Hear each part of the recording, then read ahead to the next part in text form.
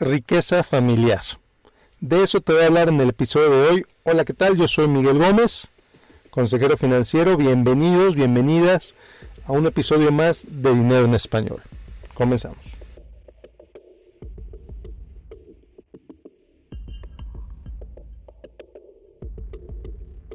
Bueno, pues riqueza familiar.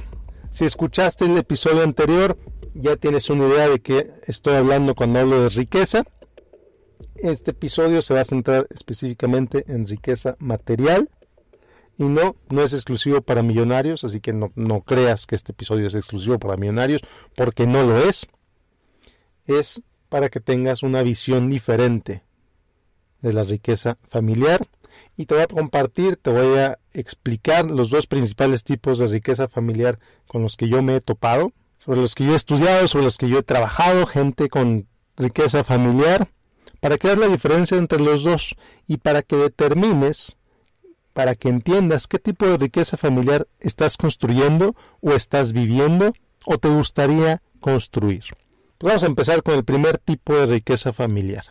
Y esta es la riqueza multigeneracional la riqueza generacional, que es un término que se está poniendo cada vez más de moda, cada vez más gente empieza a mencionarlo y eso me da muchísimo gusto. La riqueza multigeneracional es simplemente construir un patrimonio y que ese patrimonio pase a la siguiente generación. Tú construyes un patrimonio, un negocio, una empresa, una serie de negocios, una serie de empresas, un portafolio de inversión, casas, eh, etcétera, que el momento de tu fallecimiento se lo pasas a la siguiente generación. Que evidentemente cuando estás haciendo esto, cuando estás construyendo riqueza, pues le estás compartiendo también a tus herederos, a tus herederas, les estás compartiendo pues todos esos valores, toda esa ética de trabajo, toda esa manera en la que construiste esa riqueza. Fíjate, lo interesante del, enfoque de la riqueza multigeneracional es el futuro. Dejar algo para el futuro. Heredar algo.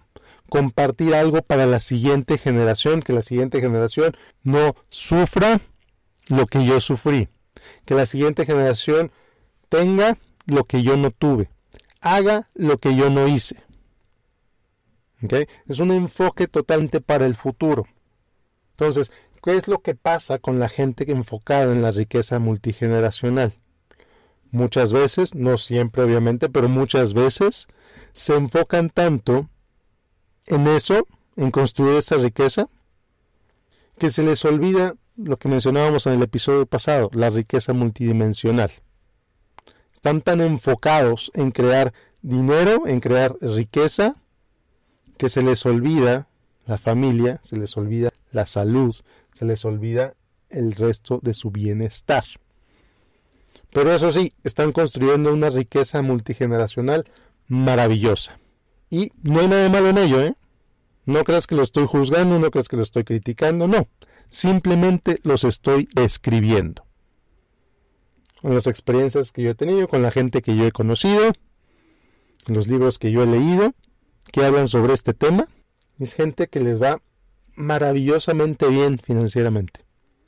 Son la envidia de todos financieramente. Pero lo que todos no se imaginan es lo que pasa dentro de la casa de estas personas. Otra vez, nada de malo en ello y obviamente no son todos. Hay quien lo hace de manera balanceada, hay quien lo hace de manera estructurada, hay quien lo hace, etcétera, y bien por ellos. Entonces es como el lado oscuro de la riqueza generacional. El, el, enfoque tan duro, tan claro, tan específico en construir riqueza, en construir negocios, etcétera, en enfocarte en darle a tus hijos lo que no tuviste, que te olvidas de, de darles lo más importante, que es tu presencia, tu tiempo, tu energía, tu atención. Entonces, mucho ojo con ese lado oscuro de la riqueza generacional, mucho cuidado con eso. Y por el otro lado, tenemos la riqueza intergeneracional. La riqueza intergeneracional es otro enfoque, es otra manera de ver la riqueza familiar. Déjame te explico a qué me refiero con esto. Bueno, la riqueza intergeneracional es aquella que tú estás construyendo y mientras la estás construyendo, otros miembros de tu familia se benefician de ella. A lo mejor tus padres. Por ejemplo, el hijo que le compra una casa a los papás.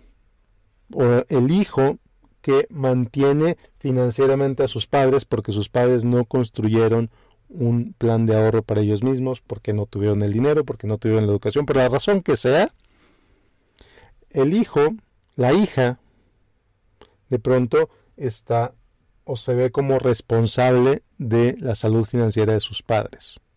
Entonces, de pronto, esta generación, quizá mi generación, por ejemplo, la generación sándwich, yo en lo particular así me veo, por ejemplo, que es algo que estoy construyendo. Entonces, la riqueza intergeneracional es esa riqueza que estás construyendo y mientras la estás construyendo la compartes. La compartes con otros miembros de tu familia. Ya dije los padres, los hijos obviamente, pero los hijos mientras estás vivo, mientras estás viva. Estás construyendo una riqueza que va a beneficiarlos a todos ustedes. Notas la diferencia, la diferencia de enfoque entre la riqueza generacional y la riqueza intergeneracional. La riqueza generacional o multigeneracional típicamente está enfocada para cuando te mueras.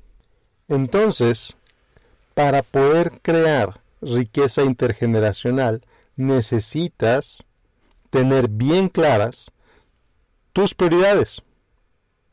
Las prioridades de la familia que quieres ayudar, de las personas a las que quieres ayudar las prioridades de todos. ¿Por qué? Esto es bien interesante. Una vez me topé con el caso de un joven súper feliz. Le compró una camionetota a su papá.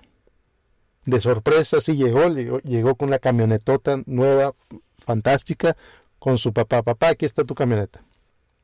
Y el papá lo voltea a ver y le dice, gracias, mi hijo, pero yo tengo mi carro, yo no necesito una camioneta, probé mi casa. Me hubiera gustado que en lugar de la camioneta nos hubieras ayudado a remodelar la casa. ¿Está siendo malagradecido el papá?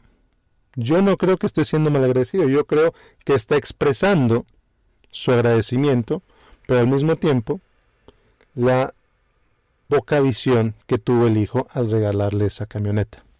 ¿Por qué? Porque el hijo gastó tanto dinero en esa camioneta pensando en lo bien que se vería su papá, sus papás en esa camioneta, pero sin considerar las necesidades reales de su papá. Y se le olvidó considerar las necesidades reales de sus papás. Entonces, ¿qué es mejor? O fantástico que tengas dinero extra, fantástico que ganes súper bien. Ahora habla con tus padres. Entiende qué es lo que necesitan. Entiende qué es lo que les preocupa si tienes la capacidad de ayudarles, entonces ayúdales para resolver esos problemas que ellos mismos ven en su situación.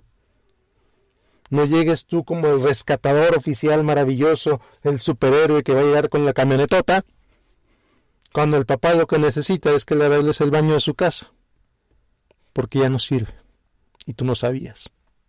Entonces a lo mejor resulta muy obvio, pero lo que pasa es esa falta de empatía, esa falta de comunicación.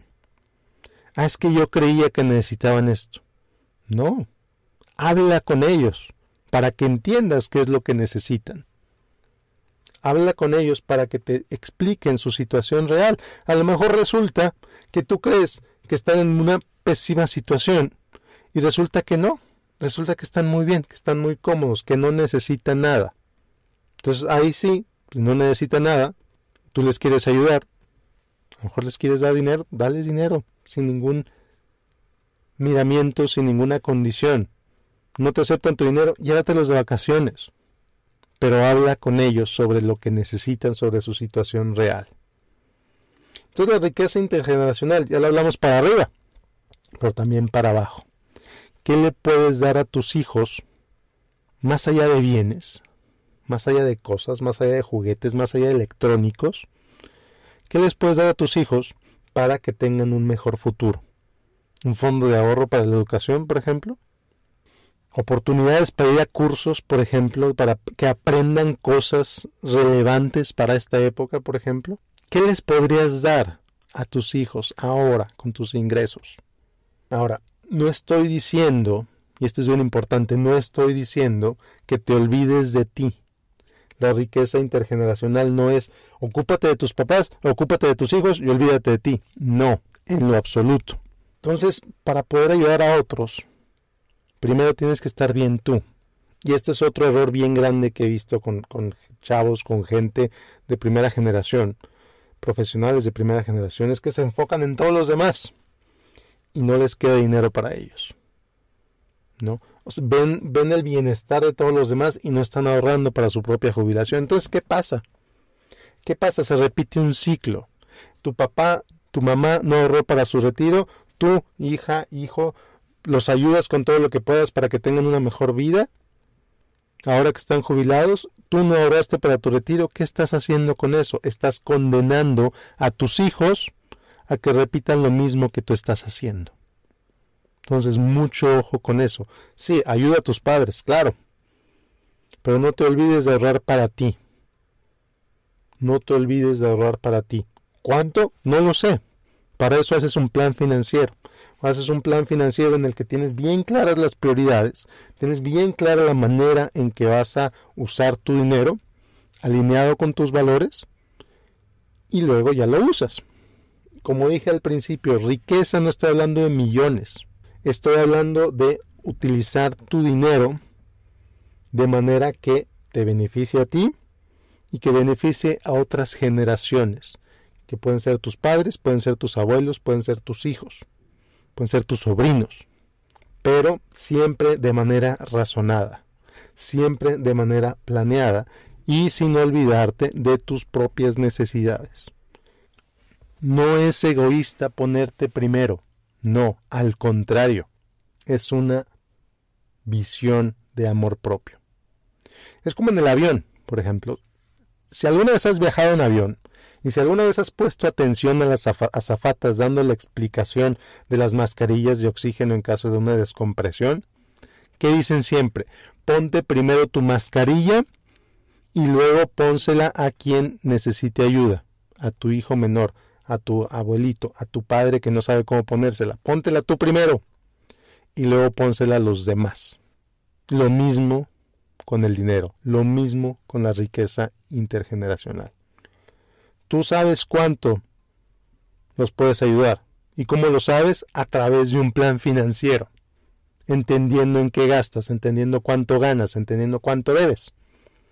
Y luego entonces puedes definir cuánto vas a ahorrar cuánto vas a darle a tus papás o a tus abuelos, a quien sea, cuánto vas a ahorrar para la educación de tus hijos y de ahí para adelante.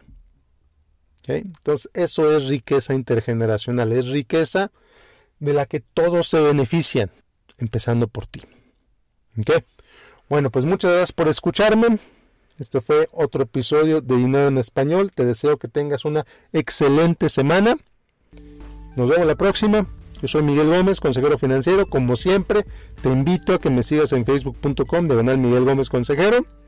Ya que te inscribas a mi boletín en miguelgomez.link diagonal correo. Que tengas un excelente día.